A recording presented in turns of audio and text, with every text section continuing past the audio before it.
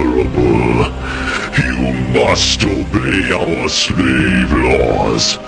Further disobedience will result in punitive measures against your homeworld.